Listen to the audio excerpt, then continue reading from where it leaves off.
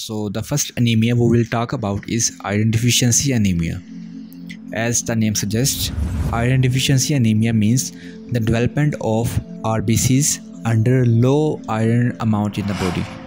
This low amount of iron in the body may be due to inadequate dietary intake, decreased absorption from GIT, increased blood loss or increased requirement for the body. So here are the gross features of what exactly the patient of iron deficiency anemia looks like. His pale with nails looks like a spoon. This is known as nail spooning or koilonychia.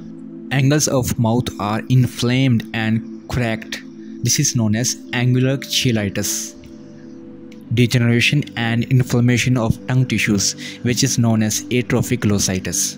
Eating disorder which is known as pica which is a compulsion for eating the non-nutritive substances just like clay or mud.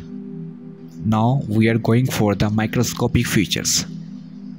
First of all, we take the sample from blood and uh, bone marrow biopsy and we use the Prussian blue stain to detect the presence of iron stores in these cells. This is a normal RBC with central pallor and surrounding rim of red color.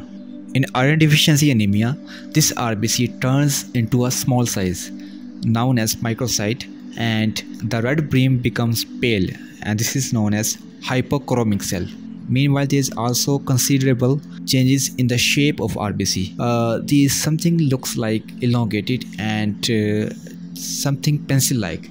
So we call these cells as pencil cells. At this point of this video, I hope you have gained a clearer understanding of the concepts we have covered. For those of you who want to reinforce your learning and dive deeper into this topic, we have created comprehensive review notes. These notes break down the key points discussed in this lecture, making it easier for you to grasp the material quickly. Be sure to check them out by clicking the link in the description below. Happy studying! So here is the histological illustration that we made for understanding purpose. Here you can see this is the normal RBC central pale and uh, peripheral rim of red color.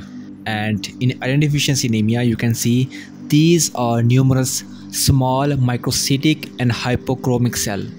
These are small in size and less red in color than the normal RBC here you can see uh, there are some elongated cells which we call as pencil cells because they looks like pencil. So this was the histological illustration drawing for understanding purpose.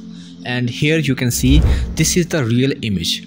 It is what a real histological slide of iron deficiency anemia looks like. Here you see this is a normal rbc this one. And these are small hypochromic microcytic cell and these are the pencil cells i hope you understand so it's time to write down the points we use Prussian blue stain, very important. We see microcytic and hypochromic red cells. There is enlarged zone of central pallor.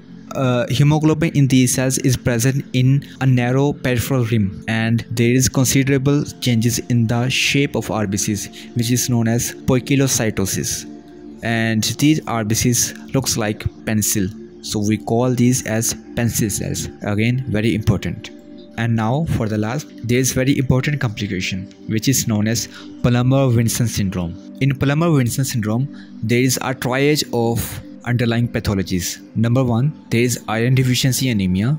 Number two, there is post-cricoid or esophageal webs. Number three, these esophageal webs causes dysphagia. So it is a triad of three pathological conditions which is known as Plummer-Vinson syndrome. And this concludes our current section of iron deficiency anemia